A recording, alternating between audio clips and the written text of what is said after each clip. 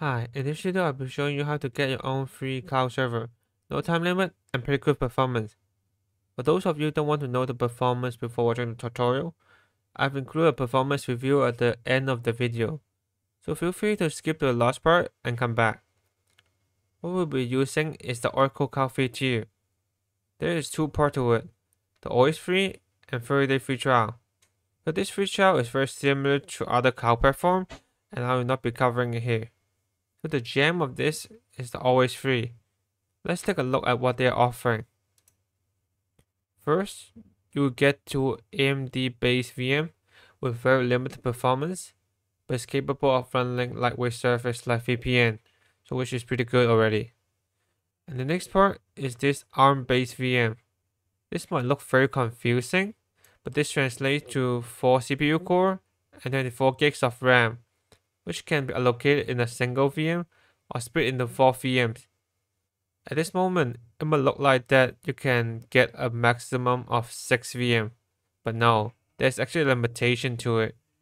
So they are offering 200 gigs of storage, but each VM must have at least 50 gigs of storage for their boot volume. This means that you can only create a maximum of 4 VM. Okay, the next thing you'll be getting is the object storage and this database. This depends on your needs, and I will not talk much about it. The last thing to notice is this outbound data transfer. So they offer 10 TBs per month, which is more than enough for normal users. Okay, so let's get started and register Oracle account. So go back to the top and click on start for free. The registration process is very straightforward. So just fill in your information and complete the email verification. During the registration process, you're required to choose a home region. This is the data center that your cloud server will be located in. This selection cannot be changed afterward, so be careful with it. So Oracle provides a large list of data center the suggestion is to choose the one closest to you in terms of geolocation.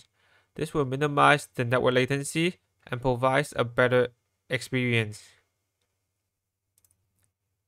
Sometimes there may be alarm below it. So here is saying that Seoul and Tokyo have a limited resource of A1 instance. So in this case, avoid choosing these two regions. After your registration is approved by Oracle, you'll see this dashboard when you log in. So first thing we have to do is set up the network. Network VCN.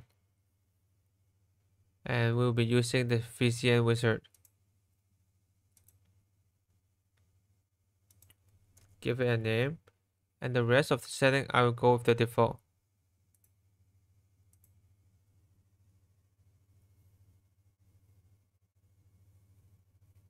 So here is the, the list of objects they have created for you.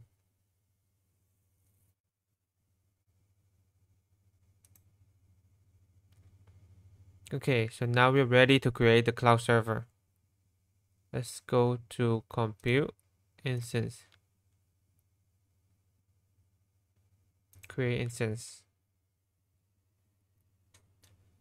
Same as before, give it a name.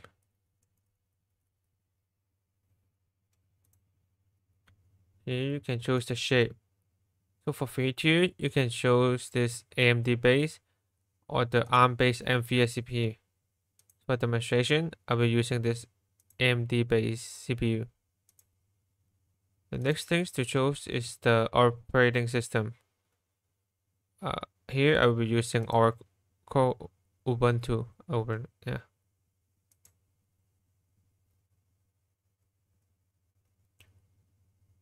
To here networking can leave it as default. And the last part is this SSH key. Because they don't allow password login you must give it a SSH key. So you can either using use this auto generation or upload your own key. For demonstration, I will be using this generate key to save the private key.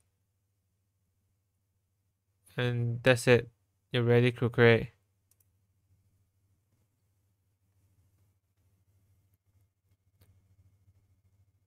It takes some time for it to boot up. By default, you should be able to access SSH into this instance using the public IP. So first, copy the public IP. Open your favorite SSH terminal. The default user for this image is Ubuntu. And then load the key.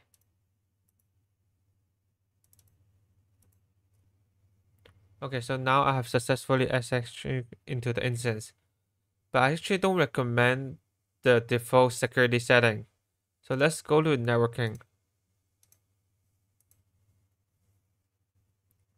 Choose the VCN, public subnet, default security list. So here you can see by default, the SSH port is available to all IP, which means that everyone can try to SSH in this instance. But obviously, they don't have the SSH key, which is secure. But to be more secure, I recommend editing this and turn it into only your own IP. So for example, you can search your IP. Copy this IP and then copy paste it here and then slash 32 which means that only this specific IP can access this SSH port, which makes it more secure. But because your IP will change over time, so remember to change it when your IP change. Up to this moment, the whole process is quite smooth and nothing special about but it's very common for users to encounter the out of capacity error when they are trying to create an ARM instance especially for users after their 3-day free trial. This means that Oracle is not able to locate the requested resource at the moment, and you have to retry until there is available resource. So in my experience, this might take a few hours to a few days. To make the whole process painless, I will be showing you how to automate the whole process with Terraform. So first, you have to complete the selection as normal. Then select Save as Stack.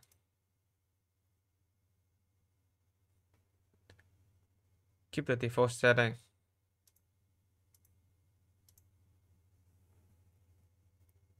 Now download the Terraform configuration. Okay, then go to this GitHub repo. I have provided a link at below. In this training guide, I provide instructions to run Terraform on different platforms. In this video, I'll be showing how to do it with Docker. For demonstration, I'll be using WSL with Docker in my local machine, but of course you can run it in the AMD instance on Oracle Cloud. Okay, so first let's clone this repository.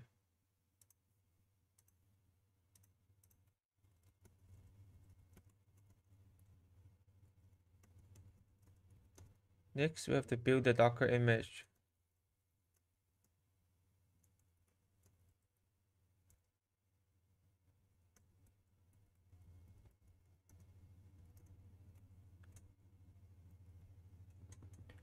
Okay, so after we have built the image, we have to collect some information from the Oracle Cloud dashboard.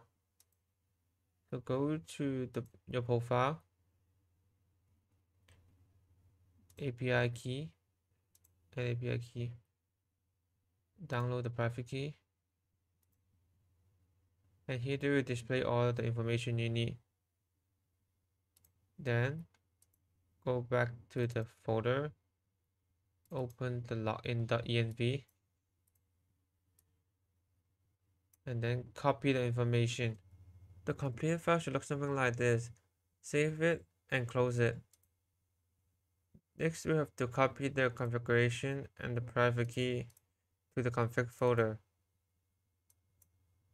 So unzip the configuration file.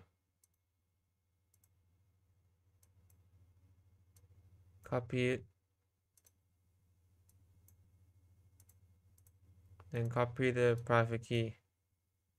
Here we will have to rename it to key.pem. Okay, then open the configuration file. Copy this part from the repository.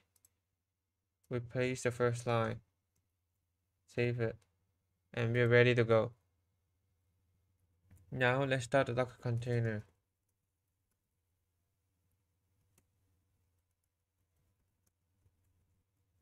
Remember to change the volume path to your own path. Here, mapping the config folder into the container.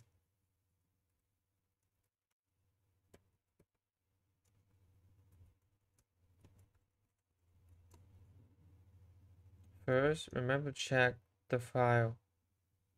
Now run terraform init.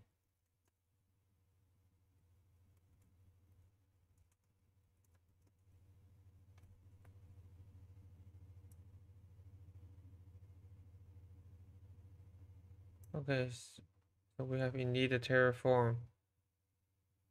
To confirm the setup is correct, first run the terraform apply.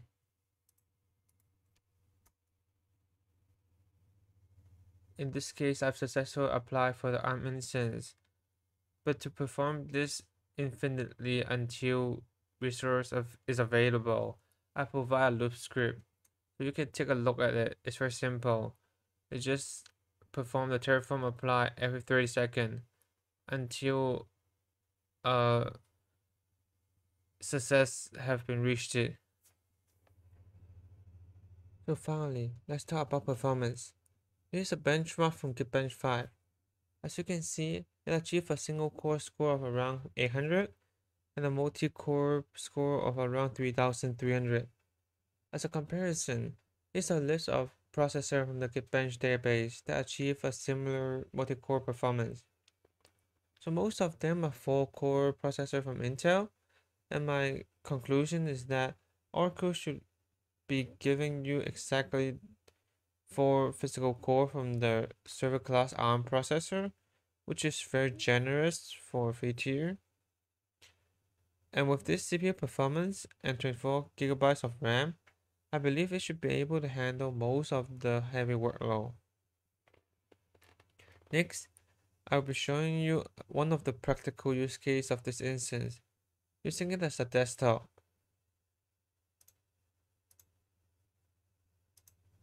So here I'll be using a Commodore client as a way to remote into this machine.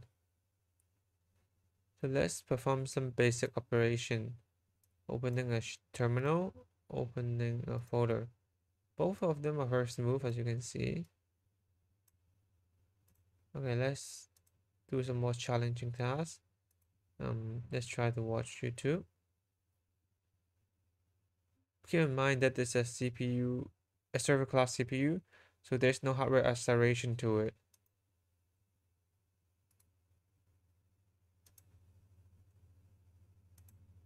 Okay, so now it's in Full HD.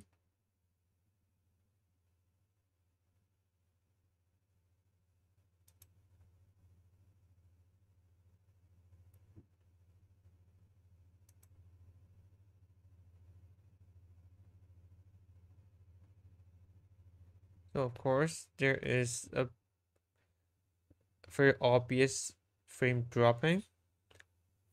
So uh, I don't believe anyone want to watch video on this, I guess. Um, okay, so another um use case is using this as a development uh, platform. So you can use it when you're not at home and connect it using an iPad or your or any um computer you have it. Here, let's take a look at VS Code running on this machine. So as you can see, it opens very quickly. The whole experience is very snappy, very responsive.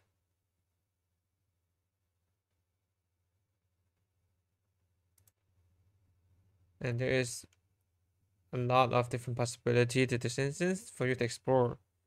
Okay, so here's the end to this video and I will be making a series of videos on my thoughts about Oracle Cloud, um, fun projects um, using Oracle Cloud. Um, if you like my video, um, please remember to like and subscribe. Thank you for watching. See you on the next video.